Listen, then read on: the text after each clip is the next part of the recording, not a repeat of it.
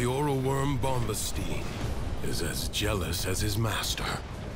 He craves the validation of victory.